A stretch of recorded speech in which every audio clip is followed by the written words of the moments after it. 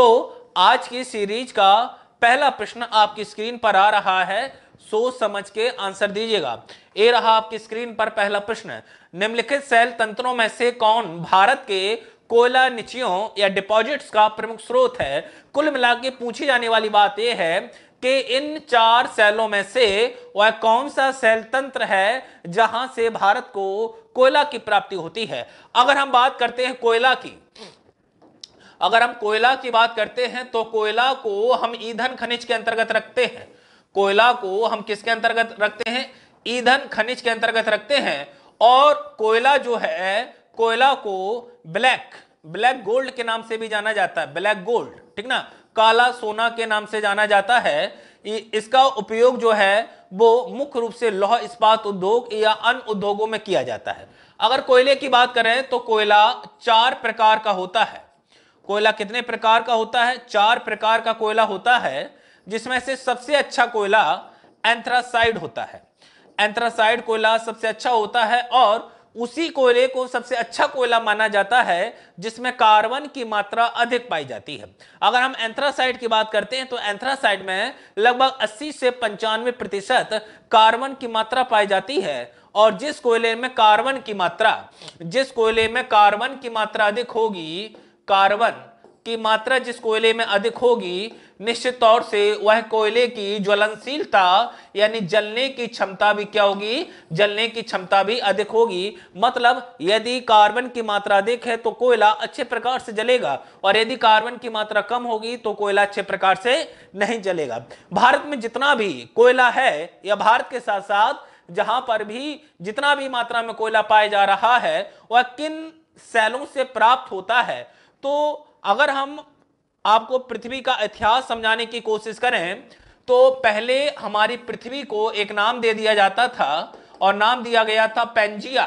और इस पेंजिया के बीचों बीच में, पेंजिया के बीचों बीच में एक सागर है और यहाँ पर जो सागर है, इस सागर का नाम है टैथीस सागर। कौन सा सागर है? टैथीस सागर। टैथीस सागर के ऊपर वाले भाग को अंगारा लैंड नाम दे दिया गया। अंगारा लैंड और नीचे वाले भाग को एक नाम दे दिया गया, नीचे वाले भाग को नाम दे दिया गया गोंडवाना लैंड तो ऐसे महाद्वीप जो गोंडवाना लैंड में हैं, निश्चित तौर से वहाँ पर कोयले के निक्षेप या कोयले के निचय अधिक मात्रा में पाए जाते हैं। और गोंडमाना क्रम के या गोंडमाना भाग में जो भी देश पड़ गए, उनमें जिन चट्टानों का विकास हुआ, उन्हीं चट्टानों को गोंडवाना लैंड की चट्टान कहा गया। तो गोंडवाना लैंड, यानी अगर हम पृथ्वी पे बात करें, सातों महाद्वीपों को एक दूसरे से जोड़ दें तो जो तैतीस सागर के नीचे वाले क्षेत्र होते हैं, जैसे हमारा भारत देश हो गया, अफ्रीका महाद्वीप हो गया, ऑस्ट्रेलिया हो गया, ठीक ना, दक्षिण अमेरिका के निचला भाग हो गया तो यहाँ पर कोयला क्षेत्रों की अधिकता पाई जाएगी, ठीक ना? तो गोंडवाना, क्रिम की चट्टानों से कोयले की सर्वाधिक मात्रा में प्राप्ति होती है। तो प्रश्न के आधार पर अगर क्वेश्चन देखा जाए तो कौन से सेल तंत्रों में से भारत में कोयला निचों की प्राप्ति अधिक होती है? तो गोंडवाना गोंडवाना लैंड में कोयला की प्राप्ति अधिक मात्रा में होती है तो इसका सही आंसर हो जाएगा गोंडमाना लैंड की चट्टान, ठीक ना? उसके बाद अगर हम बात करते हैं धारवाड़ क्रिम की चट्टान की, जो धारवाड़ क्रिम की चट्टान है आपकी, धारवाड़ क्रिम की चट्टान धात्विक खनिजों के लिए जानी जाती है। किस खनिज के लिए जानी जाती हैं? धात्विक खनिज के लिए जानी जाती हैं, जैसे कि लोहा, जैसे कि मैग्नीज, ठीक ना? जितने भी धात्विक खनिज होते हैं, उनके लिए कौन सी चट्टानें जानी जाती हैं? आपकी धारवाड़। और धारवाड़ चट्टानों में जब अपक्षय और अपर्दन की प्रक्रिया हुई तो उनसे जिन चट्टानों का निर्माण हुआ, उन चट्टानों का नाम है कुडप्पा क्रम की चट्टान। तो कुडप्पा क्रम की चट्टान भी धात्विक खनिजों के लिए जानी जाती है। उसके बाद अगर हम बात करते हैं विंध्यन तंत्र तो विंध्यन क्रम की चट्टानों का भारत में विस्तार कहाँ पर है? तो विंध्यन क्रम की चट्टानें भारत में विंध्यांचल पर्वतीय क्षेत्र में पाई जाती हैं और साथ ही साथ अरावली पर्वतीय क्षेत्र में पाई जाती हैं। तो विंध्यन क्रम की चट्टानें जो हैं, वो आध्यात्मिक खनिजों के लिए जानी जाती हैं। किस खनिज के लिए जानी जाती हैं? आध्यात्मिक खनिज। और आध्यात्मिक खनिज ऐसे खनिजों को कहा जाता है जिनमें धातु का अंश ना हो। जैसे चूना पत्थर, जैसे बालुका पत्थर, जैसे जिप्सम, जैसे सैलखड़ी तो ये सभी जो हैं, वो आध्यात्मिक खनिज है। अब देखिएगा, अगर हम ऑप्शन के आधार पर देखें तो धारवाड़ और कुड़प्पा चट्टान धात्विक खनिज के लिए हो गई। गोडवाना क्रम की चट्टान, कोयला या कोयला के साथ साथ हम ईंधन खनिज भी कह सकते हैं। ईंधन खनिज के लिए हो गई। और जो आपकी विंध्यन क्रम की चट्टाने हैं, वो किस खनिज के लिए जानी जाती हैं? वो आधात्मिक खनिज के लिए जानी जाती है। ठीक ना? क्लियर है? तो ये रहा आपकी स्क्रीन पर पहला प्रश्न। उसके बाद अगले प्रश्न की ओर बढ़ते हैं। प्रश्न नंबर दो। चलिएगा। प्रश्न नंबर दो, कोयला से ही संबंधित है। निम्नलिखित सेल क्रमों में से कौन भारत का 90 प्रतिशत से अधिक कोयला प्रदान करता है? तो अगर पहला प्रश्न समझ में आ गया तो दूसरे प्रश्न का आराम से आप आंसर दे सकते हैं। और देखिएगा, मैं फिर से आपको बता देना चाहता हूँ, जो लोग अभी ज्वाइन किए हैं, मैं पूरे भूगोल का आपको प्रश्न नहीं करा रहा हूँ। मैं उन्हीं प्रश्नों पर बात आज कर रहा हूँ आपसे, जो हमने अपने पीसीएस प्रिलिम्स के बैच में पढ़ा दिए हैं, मुख्य रूप से आर्थिक भूगोल।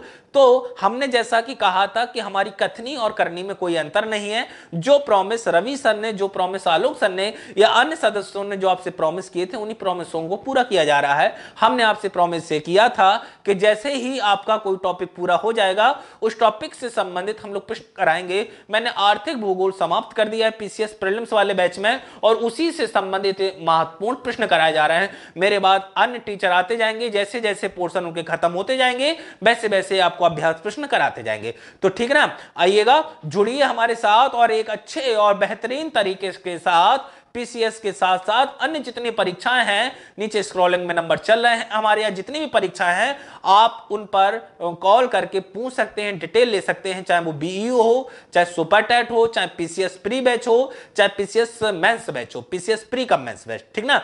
चलिए, प्रश्न नंबर दो का आंसर आपको मालूम है। निम्नलिखित सेल क्रमों में से कौन भारत का 90 प्रतिशत से अधिक कोयला प्रदान करता है? विंध्यन धारवाड़, टरसरी, गोंडवाना। तो विंध्यन क्रम से तो प्राप्त नहीं होता है, धारवाड़ क्रम से भी नहीं होता है, टरसरी क्रम की चट्टानों से भी प्राप्त नहीं होता है।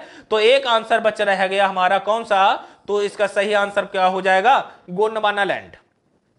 तो गोंडवाना लैंड की चट्टानों से भारत में लगभग 90 प्रतिशत से अधिक कोयला की प्राप्ति होती है, ठीक ना?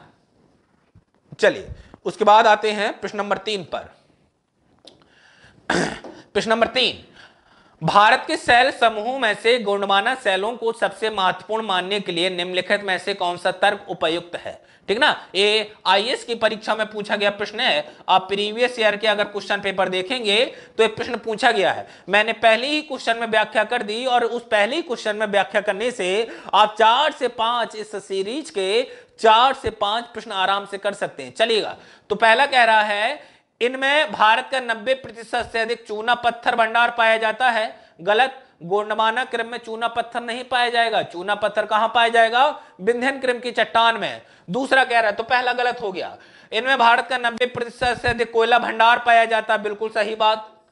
प्रश्न, क्वेश्चन नंबर सॉरी ऑप्शन तीसरा कह रहा है इनमें 90 प्रतिशत से अधिक उपजाऊ काली कपास मृदाएँ फैली हुई हैं, पाई जाती हैं। ये भी बात गलत। इस संदर्भ में ऊपर दिए गए तर्कों में से कोई भी तर्क उपयुक्त नहीं है। ये भी बात गलत। ए वाला तर्क बिल्कुल सही है तो इसका सही आंसर हो जाएगा ऑप्शन बी, कि इनमें भारत का 90 प्रतिशत से अधिक क्या पाया जाता है? कोयला पाया जाता है। किन चट्टानों से? गोंडमाना सेल क्रम से या गोंडमाना सेल चट्टानों से, ठीक ना? चलिए, प्रश्न नंबर तीन के बाद आते हैं, प्रश्न नंबर चार। प्रश्न नंबर चार आपसे कह रहा है, औद्योगिक क्षेत्र पूछा जा रहा है। कोयला क्षेत्र अवस्थित है। कोरबा कोयला क्षेत्र अवस्थित है। कहाँ पर? कोरबा कोयला क्षेत्र कहाँ पर अवस्थित है? ओडिशा में, छत्तीसगढ़ में, पश्चिम बंगाल में या असम में? तो ये कुछ महत्वपूर्ण कोयला क्षेत्र हैं जिनको आपको याद रखना होगा। आगे सीरीज़ आएगी, मैं आपको बताता रहूँगा। जैसे धनबाद धनबाद को भारत की कोयला नगरी कहा जाता है। और आपसे पूछ लिया जाता है बार बार, धनबाद कहाँ पर है? तो धनबाद जो है, वो कहाँ पर है? धनबाद आपका झारखंड में है। वैसे ही पूछा जा रहा है कोरबा कोरबा कहाँ पर है? तो कोरबा की अगर आप बात करते हैं तो कोरबा छत्तीसगढ़ में है। महानदी, एक नदी है, महानदी। महानदी छत्तीसगढ़ से निकलती है। कहाँ से निकलती है? छत्तीसगढ़। और छत्तीसगढ़ के बाद ओडिशा से प्रवाहित होते हुए ये बंगाल की खाड़ी में गिरती है। कहाँ गिरती है? बंगाल की खाड़ी में और इसी महानदी से एक नदी आकर मिलती है। और महानदी से जो नदी आकर मिलती है, इस नदी का नाम है हसदो। महानदी से कौन सी नदी आकर मिलती है? तो हसदो नदी आकर मिलती है और इसी हसदो नदी के किनारे एक शहर है, जिसका नाम है कोरबा, छत्तीसगढ़ में, जो कि लोहे सॉरी जो कि कोयला के लिए जाना जाता है। किसके लिए जाना जाता है? कोयला के लिए। ये आपको प्रश्न याद रखना होगा, कोयला क्षेत्र कहाँ पर अवस्थित है? तो छत्तीसगढ़ में अवस्थित। कहाँ पर? छत्तीसगढ़ में। ठीक ना? चलेगा प्रश्न नंबर चार के बाद प्रश्न नंबर पाँच।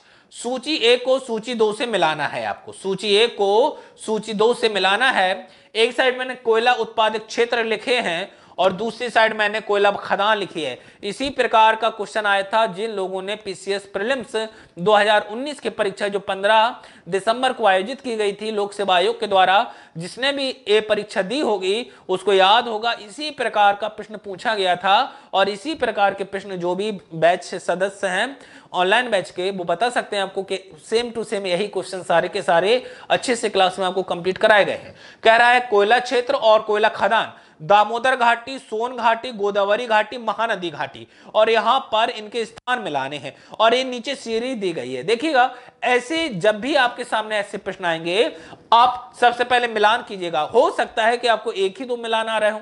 तो जो मिलान आ रहा हो, जिस पर आपको भरोसा हो कि यह सटीक है एकदम, ठीक ना? ये निश्चित है, सबसे पहले उसी को मिलाइए। चलिए, अगर हम दामोदर घाटी की बात करें या सोन घाटी की बात करें तो सोन घाटी, सोन नदी की घाटी है और सोन नदी जो है, वो कहाँ से निकलती है? सोन नदी अमरकंटक पठार से निकलती है और मध्य प्रदेश से होते हुए बिहार की राजधानी पटना के समीप गंगा से मिल जाती है। ठीक ना? मध्य प्रदेश और मध्य प्रदेश के बाद बिहार में, पटना में आकर मिल जाती है और इसी नदी के क्षेत्र में, इसी नदी की घाटी में मध्य प्रदेश में एक महत्वपूर्ण जगह सिंगरैनी और सिंगरैनी कोयला भंडार के लिए जानी जाती है। तो सोन नदी घाटी का संबंध किससे हो गया? सिंगरैनी से हो गया। किससे हो गया? सिंगरैनी। महानदी की बात करें तो महानदी छत्तीसगढ़ और उड़ीसा, महानदी की बात करते हैं तो छत्तीसगढ़ और उड़ीसा से होती हुई बहती है। उड़ीसा में एक बड़ा महत्वपूर्ण स्थान है तलचर, और तलचर जो है वो कोयला के लिए ही जाना जाता है। तो महानदी का संबंध किससे हो गया? तलचर। मान लीजिएगा, हमें यही दो प्रश्न, हमें यही दो मालूम है। तो इन्हीं के आधार पर सबसे पहले हम क्वेश्चन मिलाना सीखते हैं। हम आपको बता रहे हैं कि किस प्रकार से इस प्रकार के क्वेश्चन किए जाएँगे। तो बी का डी कह रहा है। तो चलिए बी का डी बी का मतलब चौथा बी का चौथा। तो बी का सॉरी बी का चौथा तो इसमें कोई है ही नहीं। बी का चौथा, सोन नदी सोन नदी का संबंध।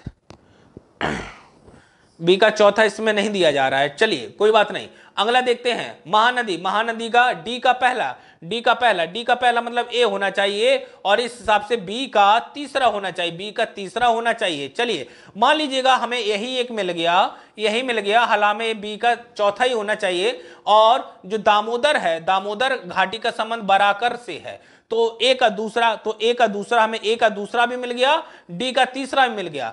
अब यहाँ पर सिंगरैनी और सिंगरैली में कई बार अंतर हो जाता है तो इसका सही आंसर हो गया ए दो, तीन, चार, एक। दामोदर घाटी का बराकर से सोन घाटी का इसमें सिंगरैनी सिंगरैनी दिया गया है, और गोदावरी घाटी का किससे हो जाएगा? गोदावरी घाटी का सिंगरैनी से हो जाएगा, और सोन घाटी का उमरिया से हो जाएगा तो इस प्रकार से ए ऑप्शन इसका क्या हो जाएगा? ए ऑप्शन इस प्रकार इसका सही हो जाएगा। नदी, घाटी क्षेत्रों और उनकी खदानों से संबंधित महत्वपूर्ण प्रश्न यहाँ से इसी प्रकार बनते हैं। तो गलती की संभावना ना हो, इसलिए जो सबसे अच्छा लगे, जिस पर हमें विश्वास हो कि यह हंड्रेड परसेंट होगा तो उसी को सबसे पहले आप मिलान कीजिएगा, ठीक ना? चलिएगा, प्रश्न नंबर पाँच के बाद बढ़ते हैं प्रश्न नंबर छह पर। कथन और कारण दिए जा रहे हैं आपको। कथन और कारण, लिग्नाइट निकृष्ट कोटि का कोयला होता है, देखिएगा अगर हम कोयले की बात करते हैं तो कोयला जो है, वो कोयला चार प्रकार का होता है। देखिएगा, ये हमारे दोनों बैचों में एडमिशन की प्रक्रिया है। अगर आप पीसीएस प्री कम में एडमिशन लेना चाहते हैं तो double nine one eight triple zero four five four number पर आपको व्हाट्सअप के द्वारा मैसेज करना होगा। Entry PCS pre cum batch और यदि आप केवल प्री बैच ज्वाइन करना चाहते हैं पीसीएस प्री तो आपको nine one seven zero five zero nine six seven zero इस नंबर पर पीसीएस प्री एंट्री लिखकर आपको सेंड करना होगा, ठीक ना? चलेगा तो हम कोयला को पढ़ रहे थे। कोयले की अगर बात करें तो कोयला चार प्रकार का होता है। जैसा कि हमने आपको बताया था, सबसे अच्छा कोयला जो होता है, वो एंथ्रासाइड को माना गया है।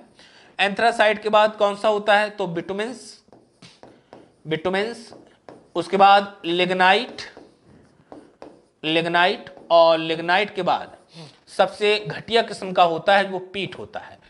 तो एंथ्रासाइड, बिटुमेंस, लिग्नाइट और पीट अब ठीक ना, ये चार प्रकार का होता है। जैसे जैसे यहाँ से यहाँ की ओर बढ़ते जाएँगे, इसमें जो होगा वो कोयला की मात्रा में क्या आती जाएगी? कोयला की मात्रा में क्या आती जाती है? कमी आती जाती है। और एंथ्रासाइड की अगर बात करते हैं तो एंथ्रासाइड में लगभग 80 से पंचानवे प्रतिशत कोयला होता है। विटामिन की बात करें तो विटामिन में लगभग लगभग 70 से पचासी प्रतिशत होता है। लिग्नाइट की बात करें तो लिग्नाइट में लगभग 40 से 50 या 55 प्रतिशत होता है। और पीट की बात करें तो पीट में लगभग लगभग 25 से 30 प्रतिशत होता है। कहाँ से कहाँ होता है? 25 से 30 प्रतिशत पाया जाता है। आइएगा, अब पहले पूरा क्वेश्चन पढ़ लेते हैं, पहले पूरा प्रश्न पढ़ लेते हैं। लिग्नाइट निकृष्ट कोटि का कोयला है, जिसमें कार्बन की मात्रा 35 से 40 प्रतिशत कितनी है? 35 से 40 प्रतिशत। ठीक है? 35 से 40 प्रतिशत, लगभग हमने 40 से 50 लिखा। चलिए तो पहले ही बात तो सही हो गई दूसरी बात देखते हैं क्या कह रहा है। भारत में झारखंड लेगनाइट का सर्वप्रमुख उत्पादक है। तो अगर हम बात करें एंथ्रासाइट की तो एंथ्रासाइड कोयला, जो कि सबसे उत्तम प्रकार का होता है, यह सबसे ज़्यादा कहाँ पाया जाता है? ये सबसे ज़्यादा हिमालय पर्वतीय क्षेत्र में पाया जाता है या हिमालय पर पाया जाता है। जम्मू कश्मीर राज्य एकमात्र ऐसा राज्य जहाँ से एंथ्रासाइड प्रकार का कोयला मिलता है। उसके बाद जो दूसरा है, जो दूसरा है यानी बिटुमिन प्रकार का तो दक्षिण भारत के राज्यों में ये अच्छी मात्रा में, पर्याप्त मात्रा में मिलता है। उसके बाद जो लेग्नाइट है, लेग्नाइट के भंडारण और उत्पादन में सबसे ज़्यादा झारखंड राज्य है। तो ए वाली बात भी सही और ए वाली। तो ए और बी दोनों सही हैं, लेकिन अब ऑप्शन कह रहा है ए और बी दोनों सत्य और ए आर का मतलब रीजन है और ए का मतलब है उसका कारण बताया जा रहा है कि सही व्याख्या करते। देखिएगा, दोनों सही तो हैं, लेकिन सही व्याख्या नहीं करते। इसका मतलब ये नहीं है कि अगर 40 से 35 से 40 पाया जा रहा होगा तो झारखंड राज्य में पाया जाएगा। तो ए और बी दोनों के दोनों कथन सही हैं, लेकिन ए, बी की सही रूप से व्याख्या नहीं कर पाता है। तो इसका सही आंसर हो जाएगा बी। ए और बी दोनों सत्य हैं और आर, ए की सही व्याख्या नहीं करता है। ठीक ना? चलेगा उसके बाद अगले प्रश्न पर बढ़ते हैं। प्रश्न नंबर सात। भारत की कृषि से लिया है मैंने और भारत की कृषि से है। चावल के लिए अधिक जल की आवश्यकता होती है। चावल की खेती के लिए चावल की बुआई जब की जाती है, जब कौन सा ऋतु होती है, आपको बताना वर्षाकालीन फ़सल है चावल। वर्षा के समय में बोई जाती है। तो चावल के लिए अधिक जल की आवश्यकता होती कह रहा है। तो ये बात तो सही हो गई। दूसरा कह रहा है, चावल उष्ण कटबंधीय क्षेत्र में उगाए जाते हैं। देखिएगा, अगर हम क्षेत्रों की बात करते हैं तो ये हमारी रही पृथ्वी और इस पृथ्वी पर अगर बात की जाए तो कर्क रेखा यहाँ पर एक रेखा है कौन सी? कर्क। और दूसरी यहाँ पर एक रेखा है पृथ्वी पर, जिसका नाम है मकर। तो एक कर्क रेखा, दूसरी मकर रेखा। तो कर्क और मकर रेखा के जो बीच का क्षेत्र होता है, इस बीच वाले क्षेत्र को एक नाम दिया जाता है और नाम दिया जाता है उष्ण कटबंध और उष्ण कटबंध का मतलब यहाँ पर टेम्परेचर अधिक है और टेम्परेचर अधिक होने के कारण वर्षा की मात्रा अधिक होती है और वर्षा अधिक होने के कारण ही यहाँ पर किसकी खेती की जाएगी? चावल। लेकिन कर्क रेखा के ऊपर वाला क्षेत्र की बात करें तो यह उपोषण कटबंधीय क्षेत्र माना जाता है। उपोषण कटबंध या इसी को शीतोषण कटबंध कहते हैं। क्या कहते हैं? उपोषण कटबंध या इसी को शीतोष्ण कटबंध कहते हैं। और उपोषण और शीतोष्ण कटबंध जो है, वो गेहूँ के लिए मात्रा में जाना जाता है। तो चावल की अगर बात करें तो चावल एक उपोष्ण कटबंधीय सॉरी, चावल एक उष्ण कटबंधीय फ़सल है। ऐसी स्थानों पर बोई जाएगी जहाँ पर जल की आवश्यकता या वर्षा की मात्रा अधिक होती है। तो वर्षा की मात्रा इसलिए अधिक होती है या ऐसे स्थानों पर हम इसलिए बोते हैं इसे ताकि अधिक मात्रा में वहाँ पर वर्षा की प्राप्ति हो सके। तो चावल के लिए जल की आवश्यकता होती है, ये भी बात सही है, और यह उष्ण कटबंधीय क्षेत्र में उगाया जाएगा। यह भी बात सही है उष्ण कटबंधीय क्षेत्रों में क्यों उगाया जाएगा?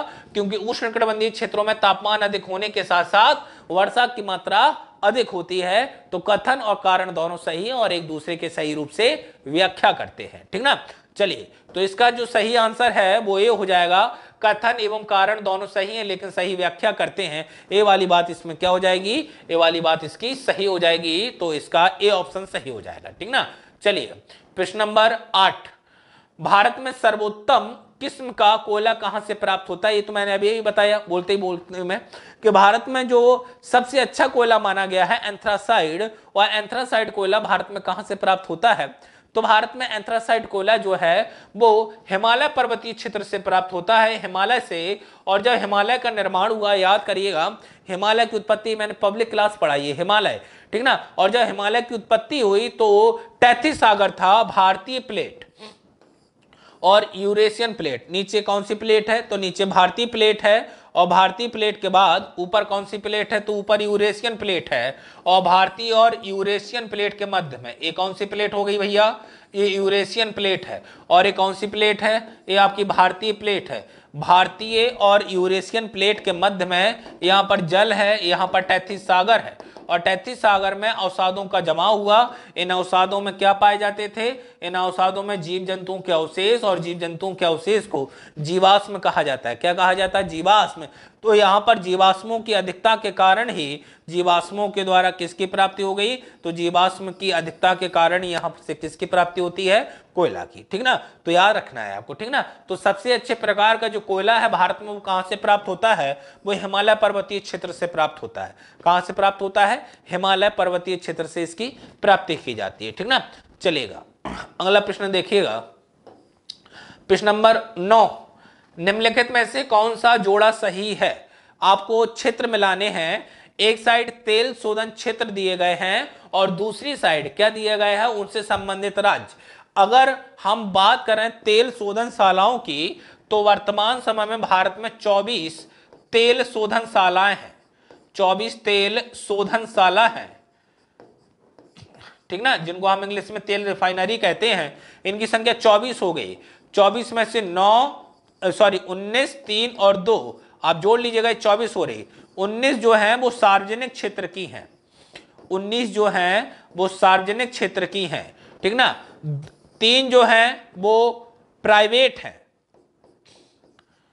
तीन को जो है, वो प्राइवेट है और दो तेल रिफाइनरी हैं, वो संयुक्त क्षेत्र की हैं। कहा की हैं? संयुक्त क्षेत्र की हैं। इस प्रकार से तेल रिफाइनरी भारत में कितनी है? 24 है। 19 सार्वजनिक क्षेत्र की पब्लिक सेक्टर की हैं, तीन प्राइवेट सेक्टर की हैं, और दो जो हैं, वो यूनाइटेड है, या यूनाइटेड सेक्टर की हैं, यानी संयुक्त क्षेत्र की हैं। ठीक ना? चलेगा। अब कई बार वो प्राइवेट पूछता है तो प्राइवेट में आपको याद रखना है, दो तेल रिफाइनरी तो रिलायंस की हैं, जो कि जामनगर में है। कहाँ पर है? जामनगर में है, और एक एसआर ग्रुप की है, जो कि बादीनर में है, बादीनर भी गुजरात में ही है। ठीक ना? चलेगा। अब प्रश्न की ओर बढ़ते हैं कह रहा है, एक साइड क्षेत्र का नाम दिया गया है यानी राज्य का नाम, और एक साइड तेल शोधनशाला। कह रहा बरौनी तेल शोधनशाला। तो हमें तो लगता है यही गलत हो गया। ठीक ना? आगे और भी देख लेते हैं। विशाखापत्तनम तो नाम तो सुने ही होंगे पहले। विशाखापत्तनम कहाँ है? तो विशाखापत्तनम आंध्र प्रदेश में है। तो विशाखापत्तनम तेल तेल शोधनशाला आंध्र प्रदेश में है। ये तो सही है भैया। कोयना, नाम सुने होंगे पहले भी। कोयना में भूकंप आया था। कोयना का भूकंप कोयना कहाँ पर महाराष्ट्र में तो भैया ये भी बात सही होगी। गुजरात कह रहा मथुरा तेल शोधनशाला तो मथुरा तेल शोधनशाला, कहाँ पर मथुरा? तो मथुरा तो भैया उत्तर प्रदेश में है तो ये वाला गलत हो गया। और अगर बात की जाए बरौनी तो बरौनी भी असम में नहीं है, बल्कि बरौनी आपकी बिहार में है तो ये भी गलत हो गया। ठीक ना? ये आयोग का प्रश्न है, और इस प्रश्न में दो आंसर उसने गलत दिए थे। एक तो ऊपर वाला असम और नीचे वाला गुजरात। तो अगर बरौनी पूछा जाएगा तो बरौनी बिहार में है और मथुरा तेल शोधनशाला के बारे में बताने की मुझे कोई आवश्यकता नहीं है। मथुरा तेल शोधनशाला कहाँ पर है? उत्तर प्रदेश में, मथुरा शहर में। ठीक है ना? तो इसमें दो आंसर गलत है। ठीक ना? चलेगा प्रश्न नंबर दस। सूची है और सूची को मिलाना है। ठीक ना? चलिए। अभी अभी बताए हम आपको, बरौनी कहाँ पर है? बरौनी बिहार में है। तो डी का पहला मिला दीजिए। ठीक ना? चलिएगा। उसके बाद नुमालीगढ़ तातीपाका कोयली। अगर कोयली की बात करें तो ये आपकी गुजरात में है। कोयली आपकी कहाँ पर है? तो कोयली आपकी क्या है? वो गुजरात में है। नुमालीगढ़, अगर नुमालीगढ़ की बात करते हैं तो नुमालीगढ़ आपकी असम में है। बची तातीपाका तो तातीपाका आपकी आंध्र प्रदेश में है। तो ए का चौथा, ए का चौथा, यानी ये वाला होना चाहिए, यही मिल रहा है। बी का तीसरा, तातीपाका आंध्र प्रदेश में बी का तीसरा हो गया, सी का दूसरा, सी का दूसरा ए भी हो गया, और डी का पहला, डी का पहला ए भी तो ऑप्शन डी इसका सही हो जाएगा। सारे के सारे तेल शोधनशाला कौन सी कहाँ पर है, सारी की सारी चीज़ें आपको क्लास में अच्छे से समझाई गई हैं। और बखूबी आप आंसर दे पा रहे होंगे इस कुछ शहरों के नाम हैं, जिन्हें समझाने की मुझे कोई आवश्यकता नहीं कि कौन सा शहर कहाँ पर है। ठीक ना? ऐसे ही आपको याद करने होंगे। कई बार पूछ रहे है, बरौनी। बरौनी का नाम तो कई बार आता है, ठीक ना?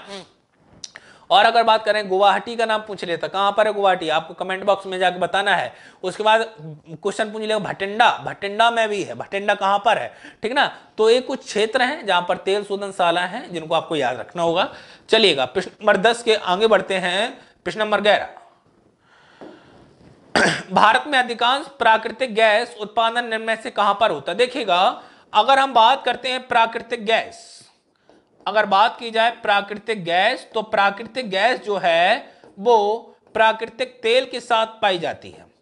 प्राकृतिक गैस किसके साथ पाई जाती है? प्राकृतिक तेल के साथ पाई जाती है। और ये दोनों के दोनों हाइड्रोकार्बन के मिश्रण होते हैं हाइड्रोकार्बन हाइड्रोकार्बन के मिश्रण होते हैं, जिसमें हाइड्रोजन और कार्बन का समुपात पाया जाता है। नौ अनुपात एक, यानी नब्बे और दस प्रतिशत की मात्रा में पाई जाती है। तो जहाँ से भी प्राकृतिक तेल की अधिक मात्रा में प्राप्ति होगी, वहीं से किसकी प्राप्ति होगी अधिक मात्रा में? प्राकृतिक गैस की प्राप्ति होती है। पूछ रहा भारत में अधिकांश प्राकृतिक गैस उत्पादन निर्णय से कहाँ से होता है? तो हमने कहा कि जहाँ से प्राकृतिक तेल मिलेगा, वहीं प्राकृतिक गैस अधिक मात्रा मिलेगी। तो वर्तमान समय की अगर बात करें तो वर्तमान समय में मुंबई तट से या मुंबई शहर से लगभग एक सौ छिहत्तर किलोमीटर दूर। मुंबई शहर से, कहाँ से? मुंबई शहर। ए रहा। यहाँ से लगभग 176 किलोमीटर दूर एक जगह है जिसका नाम है मुंबई हाई। मुंबई हाई और 1976 में यहाँ से खनिज तेल का पर्याप्त मात्रा में शोधन किया जा रहा है। ठीक ना? निकाला जा रहा है और शोधन भी किया जा रहा है। सबसे ज़्यादा भारत को यहीं से वर्तमान में प्राकृतिक तेल की प्राप्ति होती है तो सही आंसर हो जाएगा मुंबई हाई। ठीक ना? तो मुंबई हाई, जो तेल शोधन क्षेत्र है 1976 में इसकी खोज की गई थी और मुंबई शहर से लगभग 176 किलोमीटर यह दूर है। समुद्र सागर समुद्र सागर या सम्राट सागर, समुद्र सम्राट सागर नामक आपका एक विमान था जिसके द्वारा इस तेल क्षेत्र की खोज की गई थी। ठीक ना? तो आपको याद रखना है कि कब इससे उत्पादन हो रहा था या कब इसकी खोज की गई थी 1976 में, और ये मुंबई तट से कितने किलोमीटर है? 176 ठीक ना? चलिएगा। अगला क्वेश्चन देखते हैं। तो इसका सही आंसर हो जाएगा मुंबई हाई। सही आंसर क्या हो जाएगा? मुंबई हाई हो जाएगा इसका सही आंसर। प्रश्न नंबर ग्यारह के बाद प्रश्न नंबर बारह, आपकी स्क्रीन पर। निम्नलिखित में से कौन सा राज्य भारत में मैग्नीज का सर्वाधिक उत्पादन करता है? तो मैग्नीज की अगर बात करते हैं हम तो मैग्नीज जो है, वो एक धात्विक खनिज के अंतर्गत आता है। खनिज है, धात्विक। धात्विक खनिज। और याद रखिएगा, धात्विक खनिजों के उत्पादन, धात्विक खनिजों के उत्पादन और भंडारण में भारत का जो राज्य सबसे आगे है उस राज्य का नाम है ओडिशा। चाहे मैग्नीज हो आपका, चाहे टिन हो आपका, ठीक ना? चाहे आपका टंगस्टन हो तो इन सब में सबसे आगे जो स्थान रखता है, वो कौन सा रखता है आपका? उड़ीसा राज्य, उड़ीसा जिसको हम बोलते हैं तो इसका सही आंसर हो गया उड़ीसा। सही आंसर इसका क्या हो जाएगा? तो इसका सही आंसर हो जाएगा उड़ीसा। चलिए, प्रश्न नंबर बारह के बाद प्रश्न नंबर तेरह। कौन सा धातु धातु खनिज नहीं है? तो धातु खनिज ऐसे खनिजों को कहा जाता है, जिसमें किसकी मात्रा पाई जाती है? जिसमें धातु की मात्रा पाई जाती है। धातु खनिज ऐसे खनिजों को कहा जाता है, जिसमें धातु की मात्रा पाई जाती है। हेमेटाइड क्या है? तो हेमेटाइड लोहा चार प्रकार का होता है। उसी में से लोहे का एक प्रकार है। बॉक्साइड बॉक्साइड जो है, वो एल्युमिनियम का ऑक्साइड होता है। लेमोनाइट लेमोनाइट भी लोहे का एक ऑक्साइड है या लोहे का एक प्रकार है।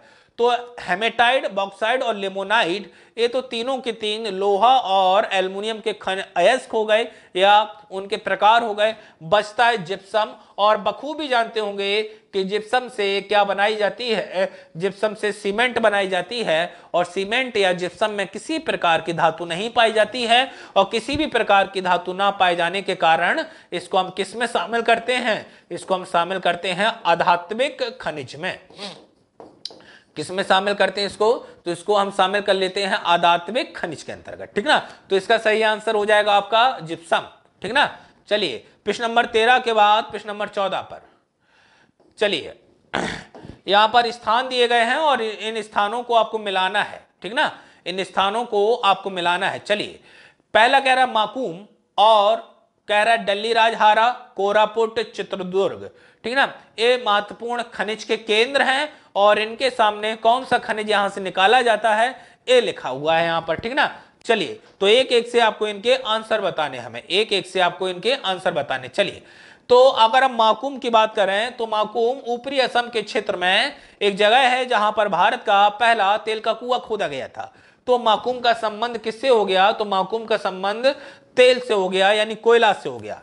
सॉरी, किससे? पेट्रोल से हो गया। तो ए का दूसरा ए का दूसरा यानी ये वाला, ठीक ना? चलिएगा। उसके बाद डल्ली राजहारा। तो डल्ली राजहारा जो है, वो एक प्लेस है जहाँ से लोह एस्क की पर्याप्त मात्रा में प्राप्ति होती है। तो डल्ली राजहारा से लोह एस्क की प्राप्ति हो जाती है। उसके बाद अगर बात करते हैं कोरापुट तो कोरापुट उड़ीसा के क्षेत्र में पाए जाने वाला एक क्षेत्र है और कोरापुट से बॉक्साइड, यानी बॉक्साइड का मतलब है एल्युमिनियम के ऑक्साइड को बॉक्साइड कहा जाता है तो बॉक्साइड की प्राप्ति होती है। तो सी का चौथा हो जाएगा सी का चौथा बी का पहला तो ये वाला ऑप्शन आपका सही हो गया, यानी डी का तीसरा। चित्रदुर्ग किसके लिए जाना जाता है? मैंगनीज के लिए जाना जाता है, छत्तीसगढ़ में, ठीक ना? चलिए। तो इस प्रकार से आपको जब भी सारणी वाले आ जाएँगे और ये नाम थोड़े भड़काऊ रहते हैं, नाम थोड़े भड़काऊ रहते हैं, लेकिन ऑप्शन अगर आप अच्छे से देखेंगे तो आपको जल्दी से आंसर मिल जाते हैं, ठीक ना? तो पहले आपको क्या करना है? पहले आपको ऑप्शन ही देखना होगा। चले। प्रश्न नंबर पंद्रह। फिर से उसी प्रकार का प्रश्न है, आपको स्थान दिया गया हो, मिलाना है। बादाम पहाड़, डल्ली राजहारा कुदरेमुख नोआ मुंडी, एक साइड लोहा उत्पादक क्षेत्र है और एक साइड उनसे संबंधित राज्य हैं और आपको मिलाना है। चलिए तो एक एक से मिला लेते हैं हम। चलिए एक एक से मिलाते हैं। तो अगर बादाम पहाड़ की बात की जाए कि बादाम पहाड़ कहाँ पर है? झारखंड, उड़ीसा, छत्तीसगढ़, कर्नाटक डल्ली राजहारा देखिएगा डल्ली राजहारा की शायद बात ऊपर भी हुई थी। डल्ली राजहारा की बात ऊपर भी हुई थी तो कई बार इस प्रकार से आपको क्वेश्चन आ जाएगा। जैसे इस बार पीसीएस की परीक्षा में एक प्रश्न पूछा गया था, और मध्य मध्य एशिया में पाँच देश हैं। कजाकिस्तान, उज्बेकिस्तान, तुर्कमेनिस्तान, किर्गिस्तान ठीक ना? तो इस प्रकार से वहाँ पर पाँच देश हैं, और उनके सामने उनकी राजधानियाँ लिखी हुई थी। और एक अगला क्वेश्चन था जिसमें एक मध्य एशिया के देश की राजधानी लिखी हुई थी। तो कई बार ऐसा हो जाता है कि एग्जामिनर क्या करता है कि एक प्रश्न तो देता है, लेकिन दूसरे प्रश्न में हो सकता है कि किसी कारण बस वो ऐसा कोई प्रश्न दे देता है कि हो सकता है उसी में उसका आंसर हो। तो निगाहें हमेशा बाज की तरह रखिएगा और पकड़ते रखिएगा। देखिएगा, मैंने दूसरा वाला क्वेश्चन कराने के पहले ही बोल दिया कि देखिएगा, यहाँ पर अभी मिल गया था। डल्ली राजहारा में मिल था। और डल्ली राजहारा जो था, वो किसके लिए था? अभी अभी आपको बताए हैं। ठीक ना? तो देख लीजिएगा बी बी यानी डल्ली राजहारा का संबंध मैंने ए से बताया था आपको, यानी लौह आयस किससे है? तो यहाँ से तुरंत हमें ये पता चल गया, अगर वहाँ पता न चलता तो यहाँ पर डल्ली राजहारा किससे संबंधित क्षेत्र है? लॉयस किससे? चलिएगा एक एक से आप मिलाते हैं तो पहले हमने कहा, जो आपको सबसे ज़्यादा पसंद हो या जो आपको पहले आता हो, वो मिला ले। जैसे कुदरे मुख। तो कुदरे मुख का संबंध कर्नाटक से है। कुदरे मुख कर्नाटक में एक पर्वत है, जहाँ से लोहा की प्राप्ति होती है। तो सी का चौथा। तो सी का चौथा तो यह तो ये वाला आंसर होगा या ये वाला आंसर होगा। ठीक ना? अब इन दोनों वालों में सी का देखिएगा। सी का दूसरा होना चाहिए, यानी ए का दूसरा होना चाहिए। ए का दूसरा। तो ए बादाम पहाड़ कहाँ पर हो गया? तो बादाम पहाड़ आपका कहाँ हो जाएगा? ए का दूसरा, यानी बादाम पहाड़ आपका उड़ीसा में हो जाएगा। उसके बाद बचता है आपका नोआ मुंडी। तो नोवा मुंडी की अगर बात करते हैं हम नोआ मुंडी की बात करते हैं तो नोवा मुंडी आपका कहाँ है? झारखंड में है।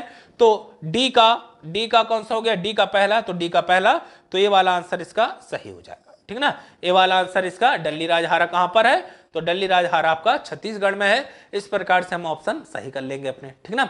तो इसी प्रकार से मिलाए जाते हैं। आज का पोर्शन ऐसा है जिसमें मैं समझा मतलब थोटिकली बहुत है, ठीक ना? कॉन्सेप्ट नहीं, यहाँ पर यहाँ पर अधिकांश चीज़ें आपको याद होनी चाहिए, तभी प्रश्न बन पाएँगे, ठीक ना?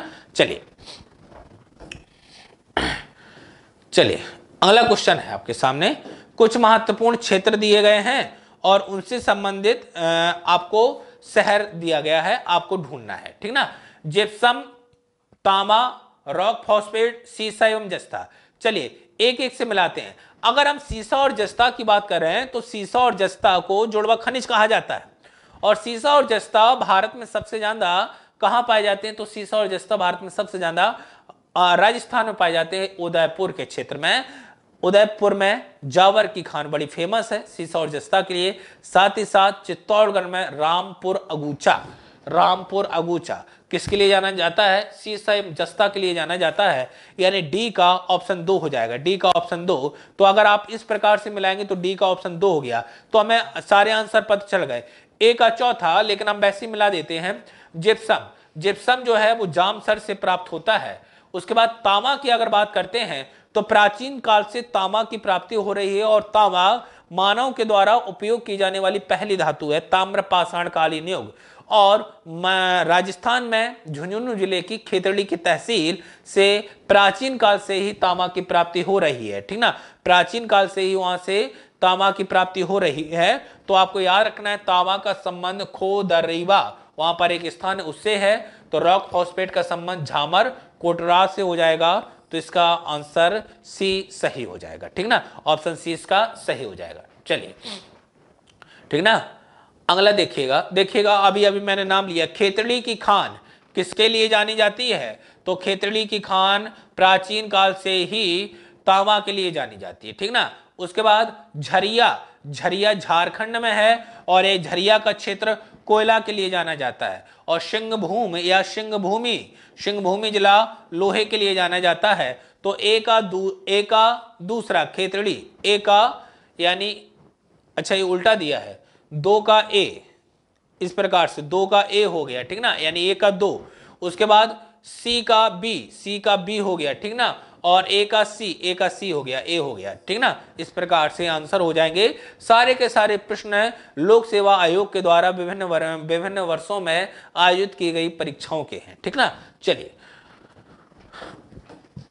क्वेश्चन नंबर 18 केरल का जो समुद्री तट है और केरल के अगर समुद्री तट की बात करें तो केरल का जो समुद्री तट है, केरल के समुद्री तट को एक नाम दे दिया जाता है और केरल के समुद्री तट को एक नाम दिया जाता है मालाबार तट। क्या नाम दिया जाता है? मालाबार तट। कह रहा केरल के समुद्री तट पर कौन सा परमाणु खनिज पाया जाता है? Beryllium, uranium, थोरेनियम, monazite. तो मोनोजाइट एक खनिज होता है परमाणविक खनिज होता है, जो कि मोनोजाइट रेत से ही प्राप्त होता है और केरल में इसका सबसे ज़्यादा उत्पादन किया जाता है मोनोजाइट का। ठीक ना? मोनोजाइट का। ठीक ना? चलो। प्रश्न नंबर 18 के बाद प्रश्न नंबर 19 क्वेश्चन रिपीटेड है। भारत में मोनोजाइट पाया जाता है। अभी अभी बताए हैं कि भारत में सबसे ज़्यादा मोनोजाइट जो है, वो कहाँ पाया जाता है? वो केरल में पाया जाता है। कहाँ पाया जाता है? केरल के मालाबार तट पर। ठीक ना? केरल के मालाबार तट पर पाया जाता है। 19 के बाद आते हैं प्रश्न नंबर 20 जादूगोड़ा। जादूगोड़ा प्रसिद्ध है। जादूगोड़ा एक स्थान है झारखंड का और यह जादूगोड़ा जो है किसके लिए जाना जाता है? तो जादू घोड़ा जो है, वो यूरेनियम के लिए जाना जाता है। जादू घोड़ा जो है, वो किसके लिए जाना जाता है? तो यूरेनियम के लिए जाना जाता है, ये आपको याद रखना होगा, ठीक ना? जादू घोड़ा की खान किस लिए जानी जाती है? यूरेनियम के लिए। चलिए तो यहाँ तक तो हमने आर्थिक भूगोल से संबंधित प्रश्न कराए। अब आर्थिक भूगोल से हट के दस महत्वपूर्ण और प्रश्न है। कह रहा भ्रंश घाटी में प्रवाहित होने वाली नदी कौन सी है? तो भ्रंश घाटी को ही रिफ्ट वैली कहते हैं। दो ब्लॉक पर्वत। दो ब्लॉक पर्वत हैं। मान लीजिएगा, ए ब्लॉक पर्वत है, बी ब्लॉक पर्वत है, और इनका जो निचला क्षेत्र होता है, इसी निचले क्षेत्र को हम रिफ्ट वैली के नाम से जानते हैं। किस नाम से जानते हैं? इसी निचले स्थान को हम रिफ्ट वैली के नाम से जानते हैं। भारत में रिफ्ट वैली में प्रवाहित होने वाली नदियाँ कौन कौन सी हैं?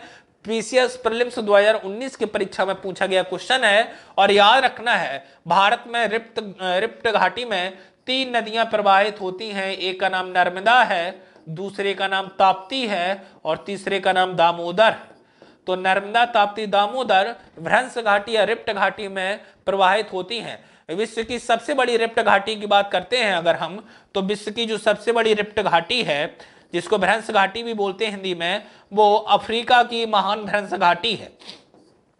अफ्रीका की महान भ्रंस घाटी, अफ्रीका की कौन सी महान भ्रंस घाटी है? महान भ्रंस घाटी। ठीक ना? ये आपको याद रखना होगा तो चंबल, नर्मदा, ताप्ती, दामोदर में से वह कौन सी नदी है जो भ्रंश घाटी में प्रवाहित होने वाली नदी नहीं है? तो इसका सही आंसर 21 21 का ये चंबल नदी। कौन सी नदी? चंबल। ठीक ना? चलिए, प्रश्न नंबर 21 के बाद आते हैं हम लोग प्रश्न नंबर 22 की ओर। प्रश्न नंबर 22 कह रहा है पारादीप बंदरगाह किस नदी के मुहाने पर स्थित है? तो पारादीप बंदरगाह की बात कर तो महानदी महानदी छत्तीसगढ़ और उड़ीसा के क्षेत्र से बहती है और बंगाल की खाड़ी में अपना डेल्टा बनाती है। कहाँ पर अपना डेल्टा बनाती है? बंगाल की खाड़ी में अपना डेल्टा बनाती है और इसी के डेल्टा में, इसी के डेल्टाई क्षेत्र में एक शहर स्थित है जिसका नाम है पाराद्वीप। और ये पाराद्वीप बंदरगाह है, भारत का दूसरा सबसे गहरा बंदरगाह इस पाराद्वीप बंदरगाह से जापान को हम क्या करते हैं? जापान को हम लोहे का यहाँ से निर्यात करते हैं। पाराद्वीप बंदरगाह। से कई बार क्वेश्चन पूछा जाता है, पाराद्वीप बंदरगाह का उपयोग क्या है? तो जापान के लिए हम यहाँ से लोहे का निर्यात करते हैं, ठीक ना? चलिए तो पाराद्वीप बंदरगाह किस नदी के मोहने में बसा हुआ है? तो महानदी के मोहने में ये बसा हुआ बंदरगाह है। भारत का दूसरा सबसे गहरा बंदरगाह और सबसे गहरा पूछता तो विशाखापत्तनम है वर्तमान समय में भारत का सबसे गहरा बंदरगाह ठीक है? चलिए। आप लोग देखिएगा, आप लोगों के लिए, आप लोगों की सफलता को सुनिश्चित करने के लिए मेरा तबीयत सही नहीं है आज, एकदम से फीवर है, अंदर से और जुकाम भी है, तब भी मैं भरपूर कोशिश कर रहा हूँ कि अपनी बातें आपको ईमानदारी से आपके सम्मुख रख सकूँ और आपको उनसे लाभ पहुँच सके। आज आज के पार्ट में अस्वस्थ हूँ थोड़ा सा, इसलिए हो सकता है कि आपको ऐसा लगे कि सर जल्दी जा रहे हैं, लेकिन मैं जल्दी नहीं पढ़ा रहा हूँ। आराम आराम से आपको एक एक चीज़ समझा रहा हूँ, जहाँ पर भी समझाने की आवश्यकता है। सपोर्ट कीजिएगा, जितना देखिएगा मैंने पहले भी कहा है, जितना आप टीचर को जितना ज़्यादा सपोर्ट करेंगे, उतना ज़्यादा टीचर आपके लिए कार्य करेगा। मैं तो मैं तो ये कह लीजिएगा, मैं तो आप ही लोगों के लिए हूँ, जो लोग पहले भी पढ़े हैं, यहाँ पर टारगेट आलोक में तो वो जानते होंगे कि कितनी मेहनत की गई आप लोगों के लिए, चाहे वो टी टी का बैच हो या कोई भी बैच हो जिसकी भी परीक्षा होगी, उसके लिए हम लोग भरकस मेहनत करते हैं और यही कारण है कि आप लोग हमारे ऊपर विश्वास करते हैं। चलिए तो अगला है, ब्रह्मपुत्रा या ब्रह्मपुत्र नदी भारत में किस दर्रे से प्रवेश करती है? अगर हम ब्रह्मपुत्र नदी की बात करते हैं, अगर हम ब्रह्मपुत्र नदी की बात करते हैं तो ब्रह्मपुत्र नदी जो है, वो तिब्बत के चेमा युंगडुंग ग्लेशियर से निकलती है। कहाँ से निकलती है? तिब्बत के चेमा युंगडुंग ग्लेशियर से निकलती है और सबसे पहले अरुणाचल प्रदेश में प्रवेश करती है। अरुणाचल प्रदेश में जहाँ से प्रवेश करती है, यहाँ पर एक दर्रा है और यहाँ पर जो दर्रा है, इस दर्रे का नाम है यांग्याब दर्रा। जब अरुणाचल प्रदेश में या तिब्बत से यह टर्न लेती है तो यहाँ पर एक पर्वत है और इस पर्वत का नाम है नामचा बारवा कौन सा पर्वत है? तो यहाँ पर एक पर्वत है, पर्वत का नाम है नामचा नामचा बारवा पर्वत। कई बार क्वेश्चन पूछा जाता है कि ब्रह्मपुत्र नदी किस पर्वत का घुमाव लेते हुए भारत में एंट्री करती है? तो नामचा बारवा पर्वत का घुमाव लेते हुए भारत में प्रवेश करती है यांग्याब दर्रे से होते हुए। और सबसे पहले भारत के जिस राज्य में आती है, उस राज्य का नाम क्या है? उस राज्य का नाम है अरुणाचल प्रदेश। क्या नाम है उसका? उस राज्य का नाम है अरुणाचल प्रदेश। और अरुणाचल प्रदेश में जब यह नदी आ जाती है तो अरुणाचल प्रदेश के लोग इस नदी को दिहांग नदी के नाम से जानते हैं। अरुणाचल प्रदेश का जो क्षेत्र है, वो पहाड़ी क्षेत्र है। और जब पहाड़ी क्षेत्र से यह नदी नीचे गिरती है, जब पहाड़ी क्षेत्र से यह नदी नीचे गिरती है तो वी आकार की घाटी का निर्माण कर देती है। और वी आकार की घाटी को वी आकार की घाटी को किस नाम से जानते हैं? तो वी आकार की घाटी को एक नाम दे दिया जाता है। और वी आकार की घाटी को एक नाम दे दिया जाता है गार्ज। तो एक गार्ज का निर्माण कर देती है। इस गार्ज का नाम क्या है? तो इस गार्ज का नाम है सिंधु सॉरी दिहांग गार्ज। क्या नाम है? दिहांग। और भारत का जो सबसे गहरा गार्ज वो सिंधु गार्ज जो सिंधु नदी बनाती है। ठीक ना? तो याद रखना है, ब्रह्मपुत्र नदी भारत में किस दर्रे से प्रवेश करती है? किस दर्रे से? यांग्याब दर्रा। दीपू दर्रा भी अरुणाचल प्रदेश में, लेकिन नाथुला दर्रा अरुणाचल प्रदेश में नहीं है। ये आपका होमवर्क है, आपको कमेंट बॉक्स में मुझे बताना है। कि नाथुला दर्रा भारत के किस राज्य में है? नाथुला दर्रा भारत के किस राज्य में? ठीक ना? चलिए, पांगसाड़ दर्रा पांगसाड़ दर्रा जो आपका, वो अरुणाचल प्रदेश में ही। चलिए, प्रश्न नंबर चौबीस।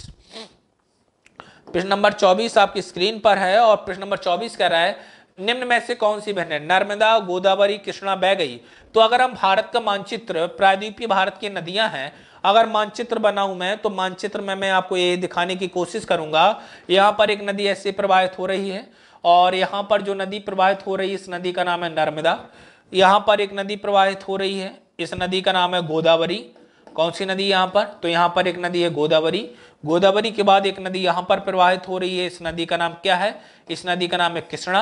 और एक नदी यहाँ पर प्रवाहित हो रही है, जिसका नाम है बैगई।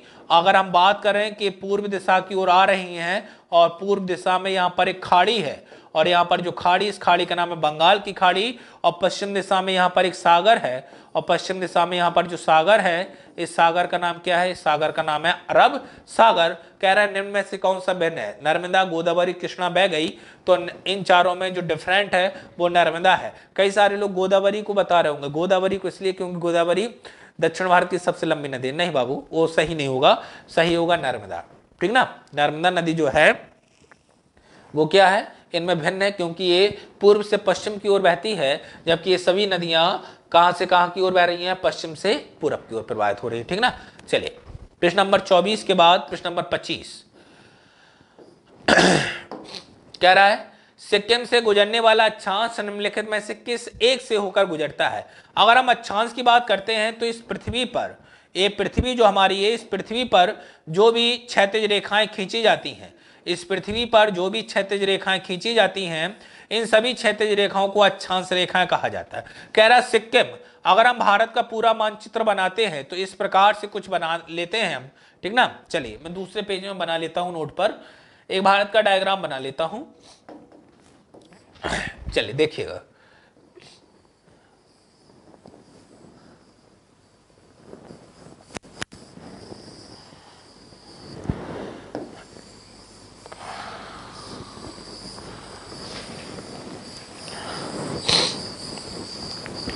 मैंने एक ओरल भारत का मानचित्र बना लिया, कह रहा सिक्किम सिक्किम कहाँ पर है भैया ये सिक्किम? तो सिक्किम से जो अक्षांश गुजरेगा, वो कह रहा बताइए किस राज्य से होकर गुजरेगा? चलिए तो सिक्किम से अगर होकर गुजरेगा तो यहाँ पर कोई राज्य होना चाहिए। अब ऑप्शन के आधार पर आंसर देंगे। कह रहा राजस्थान, पंजाब, हिमाचल प्रदेश, जम्मू कश्मीर। चलिए तो राजस्थान, पंजाब, देखिएगा, अगर हम बात करें तो यहाँ पर राजस्थान है, यहाँ पर जम्मू कश्मीर है और कौन सा है राजस्थान? और यहाँ पर कौन सा है? यहाँ पर पंजाब है। और एक कौन सा है? और एक है हिमाचल प्रदेश।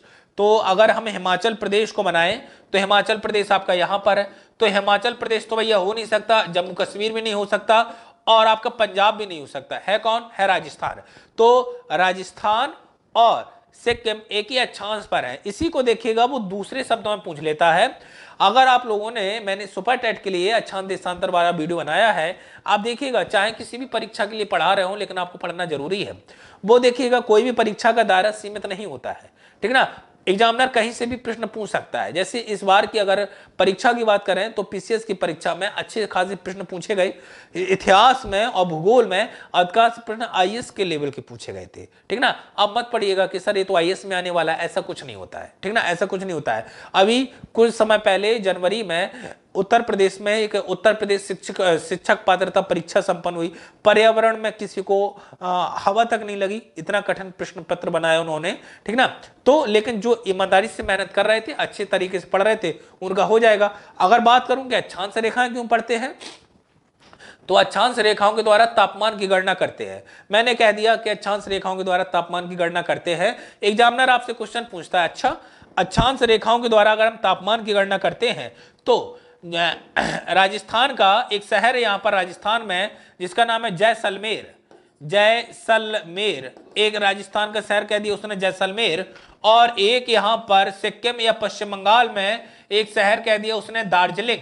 कहता है दोनों तो एक ही अक्षांश पर हैं, लेकिन दार्जिलिंग का टेम्परेचर बहुत कम रहता है, यहाँ पे ठंडी रहती है, और जबकि जैसलमेर का टेम्परेचर बहुत अधिक रहता है। आप तो कह रहे हैं कि दोनों एक ही अक्षांश पर है और अक्षांश रेखाओं के द्वारा तापमान ज्ञात करते हैं तो भैया यहाँ पर तापमान भी एक समान होना चाहिए। तो उसका भी एक आंसर है, उसका आंसर ये है कि तापमान को प्रभावित करने वाला एकमात्र कारक अच्छांश नहीं है। तापमान, अच्छांश के अलावा भी और कई सारे फैक्टर हैं जो तापमान को प्रभावित कर सकते हैं, जैसे कि ऊंचाई। जैसे जैसे ऊंचाई बढ़ती जाएगी जैसे जैसी हाइट बढ़ती जाएगी वैसे वैसे तापमान में कमी आएगी। दार्जिलिंग की पहाड़ी है और पहाड़ियों पर ऊंचाई अधिक होगी, जबकि जैसलमेर मैदान रेगिस्तान में है, मैदानी क्षेत्र में है और मैदानी क्षेत्र की ऊंचाई कम होती है। तो जैसे जैसे पहाड़ियों पर चढ़ते जाएँगे वैसे वैसे तापमान में कमी आती जाएगी। ठीक है ना? इस प्रकार से भी प्रश्न उसने पूछा है। चलिए। तो इसका सही आंसर हो जाएगा राजस्थान भैया आपका। ठीक है ना? राजस्थान हो जाएगा। अगला देखते हैं प्रश्न नंबर 25 के बाद प्रश्न नंबर 26 कह रहा निम्नलिखित नगरों में से कौन सा कर्क रेखा के निकटतम है? अब इस प्रकार से भी क्वेश्चन पूछ लिए गए लोक सेवा आयोग में। और जब इस प्रकार से क्वेश्चन पूछा जाता है तो झारखंड ज़रूर दे देता है वो। झारखंड की राजधानी रांची एक ऐसा शहर है। झारखंड की राजधानी रांची एक ऐसा शहर है जो कर्क रेखा पर पूर्ण रूप से स्थित है। कौन सा शहर है? इस शहर का नाम है रांची। ठीक ना? कह रहा है, अब रांची तो ऑप्शन नहीं है, दिल्ली, कोलकाता, नागपुर, जोधपुर। तो इस प्रकार से अगर क्वेश्चन आएगा तो देखेगा कैसे देंगे इनका आंसर हम सबसे पहले एक भारत बना लेते हैं और यहाँ से गुजार देते हैं कर्क रेखा। अब कह रहा है दिल्ली तो दिल्ली तो भैया बहुत दूर है, यहाँ पर है। और कोलकाता कोलकाता जस्ट इसके नीचे है, यहाँ पर के का मतलब कोलकाता। कह रहा है नागपुर नागपुर कहा है? महाराष्ट्र महाराष्ट्र महाराष्ट्र में नागपुर है। और नागपुर से तो ये महाराष्ट्र के क्षेत्र से तो नहीं गुजरती। कह रहा है, जोधपुर, और जोधपुर कहाँ है? जोधपुर है राजस्थान में तो सही आंसर जोधपुर, राजस्थान में। ठीक ना? तो इसका सही आंसर जोधपुर है, राजस्थान। इन चारों शहरों में से राजस्थान शहर ऐसा शहर है, जहाँ पर कर्क रेखा की जो कर्क रेखा से दूरी वो है, बहुत कम है। ठीक ना? चलिए। प्रश्न नंबर 26 के बाद प्रश्न नंबर 27 यहाँ देखिएगा, मैंने एक दिन आपको पब्लिक वीडियो में सुपर टेट के वीडियो में मैंने, आप देखिएगा, हमारे संस्थान में कई सारे बैच चल रहे हैं। आपको स्क्रोलिंग में नंबर मिल गए होंगे। सुपरटेट का बैच चलाया जा रहा है। उसके साथ साथ खंड शिक्षा अधिकारी का बैच चलाया जा रहा है। पीसीएस की दोनों परीक्षाओं के लिए अलग अलग बैच है। जो लोग पीसीएस प्रिलिम्स जिनको लगता है मेरा प्रिलिम्स हो जाएगा, मैं फिर मैं इसकी तैयारी करूँगा। उनके लिए भी बैच चल रहा है और जिनको लगता नहीं, सर, मुझे अपने ऊपर कॉन्फिडेंस है, मैं प्रारंभिक परीक्षा के साथ साथ मुख्य परीक्षा में भी फाइट करूँगा। उनके लिए PCS pre cum mains batch है। स्क्रॉलिंग में नंबर चल रहे हैं। आप वहाँ से नंबर ले लीजिएगा। इंक्वायरी ले सकते हैं। अब देखिएगा क्वेश्चन है, यहाँ से समय की गणना करनी है। कह रहा है, यदि भारतीय मानक समय के अनुसार पूर्वाहन के 10 बजे हैं तो 90 डिग्री पूर्वी देशांतर पर शिलांग का स्थानीय समय क्या होगा? चलिएगा इस प्रकार के प्रश्न को समझने के लिए हम लोग करते क्या हैं? आपको एक बात याद रखनी है। जब भी इस प्रकार का प्रश्न आ जाए, आप ऐसा सा एक, मान लीजिएगा, ये आपका विश्व का मानचित्र है और यहाँ से एक रेखा गुजार दीजिएगा। यहाँ से एक रेखा गुजार दीजिएगा। इस रेखा का मान है ज़ीरो डिग्री देशांतर और लंदन के ग्रीनविच शहर से होकर गुजर, गुजरती है। लंदन के ग्रीनविच शहर से होकर गुजरती है। इस रेखा के आगे वाला जो है वो पूर्वी गोलार्ध है और जो भी देश पूर्वी गोलार्ध में होंगे, उनका समय 100 परसेंट लंदन के समय से आगे होगा। और जो देश इस ग्रीनबी शहर यानी ज़ीरो डिग्री देशांतर के पीछे, यानी पश्चिम में होंगे, उनका समय निश्चित रूप से लंदन के समय से पीछे होगा। ऐसा इसलिए है क्योंकि सूर्योदय की घटना पूरब दिशा से घटती है, इसलिए पूरब में सूर्य की किरणें पहले पड़ेंगी, इसलिए दिन हो जाएगा, और पश्चिम में सूर्य की किरणें बाद में पड़ेंगी, इसलिए यहाँ पर रात हो जाती है, ठीक ना? चलिए, अब आपको इतना याद रखना है, प्रत्येक देश की एक मानक रेखा होती है, यदि मानक रेखा में ईस्ट लिखा है तो मतलब ये पूरब में हो, निश्चित रूप से यहाँ का समय आगे होगा। और यदि किसी मानक रेखा में डब्लू लिखा है डब्लू मतलब वेस्ट, पश्चिम तो ये निश्चित है कि यहाँ का समय लंदन के समय से पीछे होगा। चलिए, अब एक बार क्वेश्चन पढ़ लेते हैं हम लोग। एक बार हम लोग क्वेश्चन पढ़ लेते हैं। क्वेश्चन क्या कह रहा है? क्वेश्चन कह रहा है यदि भारतीय मानक समय, और भारतीय मानक समय यानी साढ़े बयासी डिग्री पर 10 बजे है तो 90 डिग्री पूर्वी देशांतर पर शिलांग का स्थानीय समय क्या होगा? चलिए, ठीक है। कह रहा है भारतीय मानक समय, यानी भारत की मानक रेखा की बात कर रहा है, और भारत की मानक रेखा पर कह रहा है कि 10 बज रहे हैं। कितना बज रहा है? 10 10 एम सुबह के 10 बज रहे हैं, पूर्वाहन के, ठीक ना? अब कह रहा है कि भारत की, हम जानते हैं कि भारत की मानक रेखा कितनी है? साढ़े बयासी डिग्री ईस्ट। अप्रत्यक्ष रूप से यह कहना चाहता है कि साढ़े बयासी डिग्री ईस्ट रेखा पर सुबह के दस बज रहे हैं तो बताइएगा, नब्बे डिग्री ईस्ट रेखा पर समय क्या होगा? कौन सी रेखा पर? नब्बे डिग्री। चलिए भैया, ये बताएँ कि अगर अगर मैं कहूँ आपसे कि ये ज़ीरो डिग्री है, ज़ीरो डिग्री से बयासी है, साढ़े बयासी तो साढ़े बयासी के आगे कहीं ना कहीं पर। साढ़े बयासी के आगे कहीं ना कहीं पर क्या होगा? साढ़े बयासी के आगे कहीं ना कहीं पर नब्बे डिग्री ईस्ट होगा। कितना होगा? नब्बे डिग्री ईस्ट होगा। और जब यहाँ पर नब्बे डिग्री ईस्ट होगा तो हम यहाँ का समय निकाल लेते हैं। तो जब भी अगर इस प्रकार के प्रश्न आपको आ जाए और इनका आंसर निकालना हो तो कैसे निकालेंगे? देखिएगा, यहाँ पर आपको ये देखना है साढ़े बयासी है और ये नब्बे है। तो नब्बे में से साढ़े बयासी को आपको माइनस कर देना है।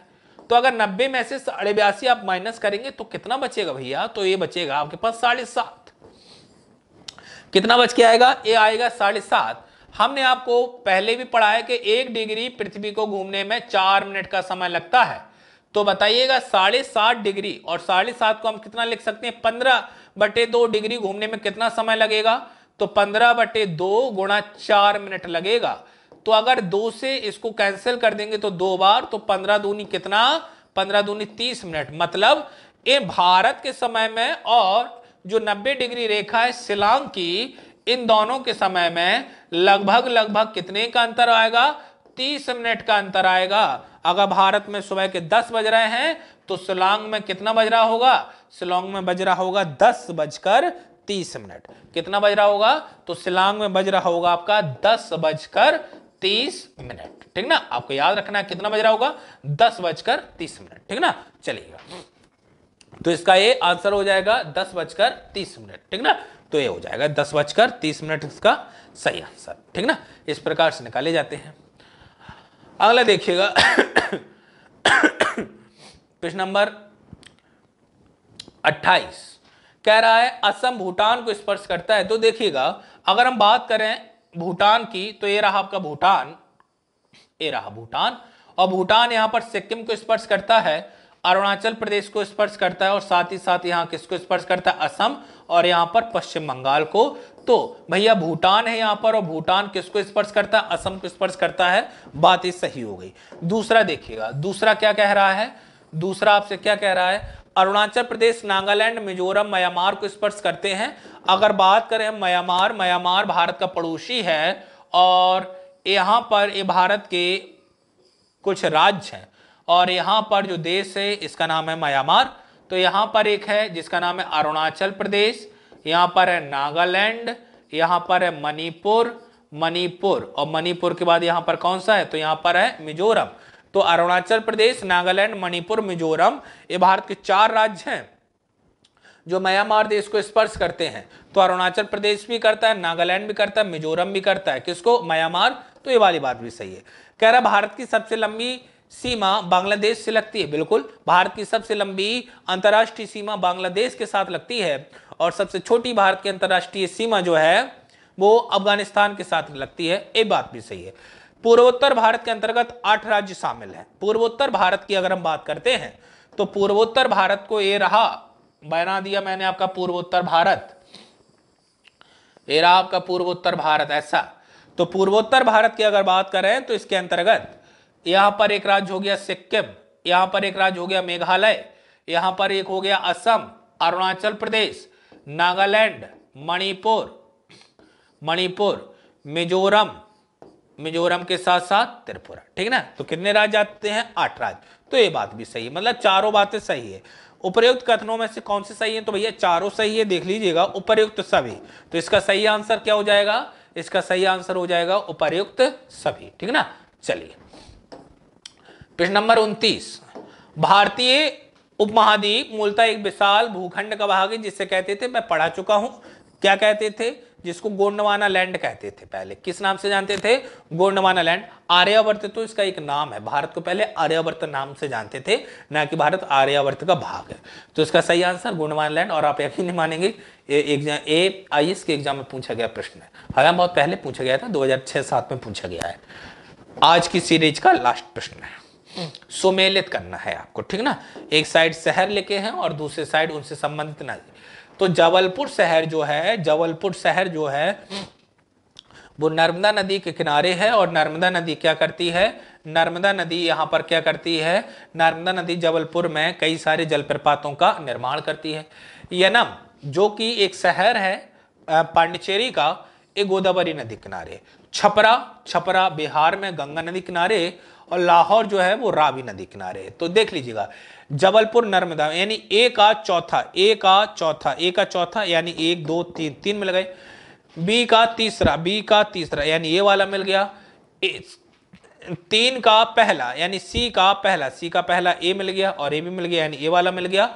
और डी का डी का दूसरा डी का दूसरा यानी तो ये वाला आंसर इसका सही हो जाएगा ठीक ना? तो आज की सीरीज़ के ये महत्वपूर्ण प्रश्न थे ठीक ना? एक मिनट और हमारी बात सुन लीजिएगा। नीचे स्क्रॉलिंग में नंबर चल रहे हैं। आपको यदि किसी भी बैच में प्रवेश लेना चाहते हैं तो नीचे दिए गए नंबरों पर आप संपर्क कर लीजिएगा। और यदि आप दोनों बैचों में से, और मैं तो बल्कि कहूँगा कि यदि अच्छे से तैयारी करनी है तो आपको चाहे किसी भी परीक्षा की तैयारी कर रहे हो target with Alok online institute से ज़रूर जुड़िएगा और निश्चित रूप से यहाँ से आप सफल हो जाएँगे। ये हमारे बैचों में जुड़ने के लिए नंबर है, इनको आप देख लीजिएगा, ठीक ना? चलिए थैंक यू नेक्स्ट सेशन में मिलते हैं। तब तक के लिए अपना ख्याल रखिएगा, अच्छे से पढ़ते रहिएगा। Thank you